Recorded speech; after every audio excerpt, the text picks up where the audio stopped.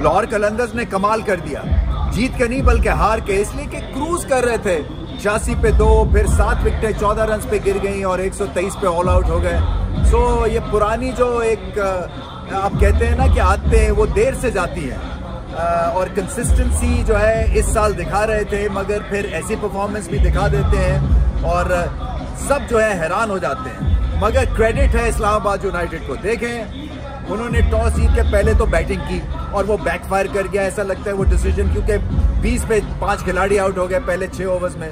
फिर come back किया आसिफ ने और इफ्तार की शानदार बैटिंग ने। और बहुत आला दोनों की पार्टनरशिप थी। सिक्स विकेट की बेहतरीन H B L P S L की ये पार्टनरशिप बनी।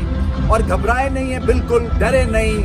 हालाँकि प्रेशर था, क्योंकि एक गलती करते तो फिर टेलेंडर्स को मैदान में उतरना था। मगर जो क्रिटिकल फेस था लेग स्पिन बॉलिंग जो राशिद की थी ना सिर्फ़ उन्होंने अच्छी खेली, बल्कि उनकी धुनाई भी हो गई, जिसकी वजह से प्रेशर एक दफ़ा फिर से लाहौर कलंदर्स पे चला गया। और जो फील गुड फैक्टर क्रिएट किया, इस्लामाबाद यूनाइटेड ने ये अपनी फिर बॉलिंग में ले गए। बॉलिंग जो थी, वो अंडर प्रेशर थी अंडर फायर थी, क्योंकि जो टॉप ऑर्डर था, बहुत अच्छा फ़ंक्शन कर रहा था कलंदस का। मगर फिर पाँव पे कुल्हाड़ी एक दफ़ा नहीं, बल्कि पाँच छह दफ़ा कुल्हाड़ियाँ मारी उन्होंने। अपने आप को जख्मी किया, अपने चांसेस को इन्होंने मुतासर किया, और इन दी एंड एक जीता हुआ मैच हार गए।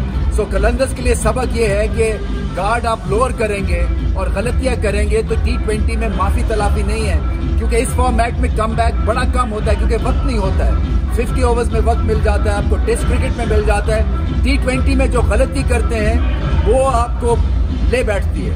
So against the odds Qalandars जो कि टॉप टीम लग रहे थे जो कि uh, लग रहे हैं कि जैसे कि इस दफ़ा चैंपियन बन जाएँगे एक एबिरेशन उन्होंने महसूस की है। उम्मीद मैं यही करता हूँ कि इससे सीखेंगे और खड़े होंगे।